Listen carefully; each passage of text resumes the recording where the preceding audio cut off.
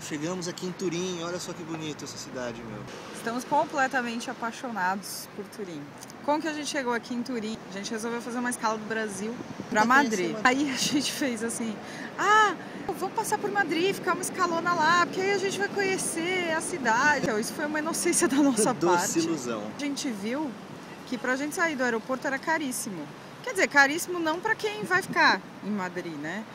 Para quem ia passar algumas horas era 20 euros para os dois. Isso, porque apesar do metrô lá custar a maioria das estações 1,50€, para sair do aeroporto, para conseguir chegar no centro é 4,60€ o bilhete. Mas a volta multiplicado por 4, você faz as contas aí, né? O resultado é um absurdo. Aí, aí a gente ficou lá panguando durante 5 horas com uma, com uma mochilinha de 10 quilos. Se você resolver fazer é, uma escala numa, numa cidade, veja bem qual é o valor de locomoção nessa cidade. Ai, que bonitinho. Não, pera, eu tenho que filmar isso.